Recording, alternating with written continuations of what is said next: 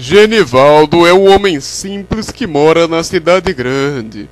Ele possui uma grande família e tem passa muitas necessidades para sustentá-la. Ele cozinha papelão para os seus filhos e hoje deseja mudar a sua vida na porta da desesperança. Ele veio pedir um carrinho de pipoca para ver se consegue sustentar melhor a sua família. Vamos ver agora com o Silvio. Bah, muito boa noite, moços e moças, jovens e rapazes. Vai começar mais um Portão das Esperanças. E hoje vamos ver qual é o nosso convidado. Vamos chamar o nosso convidado. Bah, vem pra cá, vem pra cá. Bah, vem pra cá. É isso aí, Silvio! Bah, bah Genivaldo, o que você faz na sua vida?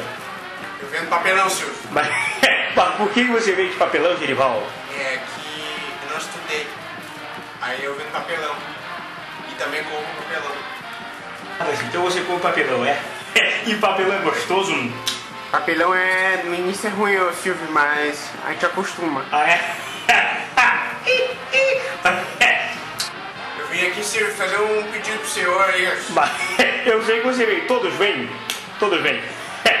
Bah, você, você quer o, é o carrinho, o carrinho é, é de pipoca? Eu quero carrinho de pipoca, pra, pra virar pipoqueiro. É meu, é meu sonho. Bah, então você, você vai virar pipoqueiro? É seu sonho é virar pipoqueiro? Meu sonho, Silvio. Ah, muito bom, mas vamos, é, vamos ver se você vai conseguir realizar seu sonho. Eu quero um futuro pros meus filhos. Carrinho de pipoca. É o que eu preciso, pra dar comida pros meus filhos. Então tá legal, vamos ver se você vai ganhar. Vamos ver? Pá, oi, ganhou! Ganhou! Pá, vem pra cá, vem pra cá. Sacanagem, Silvio! Carrinho de pipoca, de um carro pra vender pipoca, Silvio!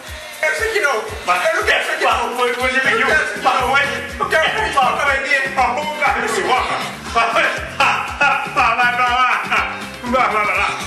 Mas na próxima semana teremos mais uma porta da desesperança. Oi! Muito gostosa.